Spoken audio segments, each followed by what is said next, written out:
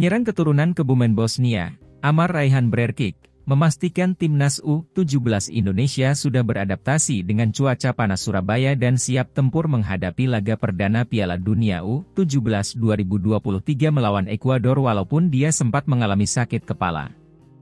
Timnas U17 Indonesia bakal memulai perjuangan di Piala Dunia U17 2023 dengan melawan Ekuador di Stadion Gelora Bung Tomo, Surabaya, Jumat, 10 November 2023. Sebelum menghadapi laga tersebut, tim Merah Putih telah pindah ke Surabaya untuk beradaptasi dengan cuaca dan lapangan.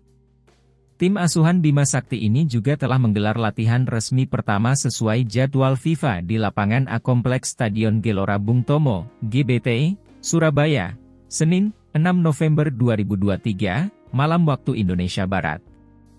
Sesi ini merupakan latihan pertama timnas U17 Indonesia di lapangan tersebut jelang Piala Dunia U17 2023. Setelah menjalani latihan di Surabaya, Penyerang timnas U17 Indonesia, Amar Raihan Brerkik, mengaku masih membutuhkan waktu untuk beradaptasi dengan cuaca.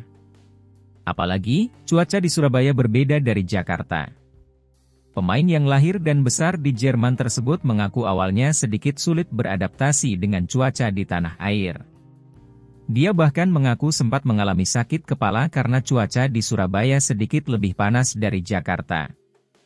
Meski begitu, Amar Raihan Brerkit mengaku bahwa saat ini dia sudah beradaptasi dengan baik bersama timnas U17 Indonesia dan cuaca di Surabaya yang lebih panas. Latihan pertama di Jakarta sangat sulit buat saya, ujar Amar Raihan Brerkit dalam keterangan yang diterima bolasport.com, Selasa, 7 November 2023. Setelah latihan, kepala sakit sedikit, kondisi cuaca di Surabaya sedikit lebih panas, lanjutnya. Namun, karena semua pemain sudah bisa beradaptasi dengan baik, Amar Raihan Brerkik memastikan timnas U17 Indonesia sudah dalam kondisi siap tempur. Lebih lanjut, pemain berusia 16 tahun itu memastikan bahwa saat ini kondisi skuad Garuda Asia sudah semakin baik. Tim Merah Putih sudah menyiapkan diri dengan baik untuk menghadapi laga perdana melawan Ekuador.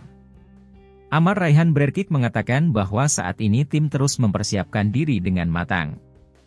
Menurutnya setelah tahu cuaca Surabaya, para pemain timnas U17 Indonesia kini dalam kondisi siap tempur. Amar mengaku bahwa kemistri antar pemain berjalan dengan baik. Dia dan rekan-rekannya tak akan gentar baik saat melawan Ekuador maupun tim lain di grup A nantinya.